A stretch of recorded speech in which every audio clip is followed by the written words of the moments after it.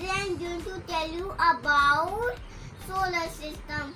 This is a solar system and it is a big sun and there are eight planets.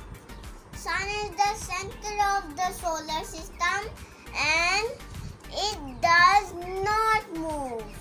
There are eight planets and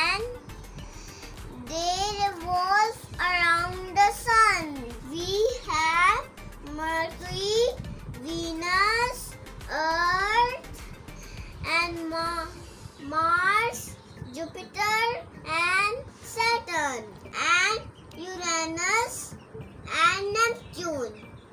Mercury is the smallest planet. It is closest sun. Earth is a third planet. We live on Earth. And this is Venus. Venus is the hottest planet. This is all about my.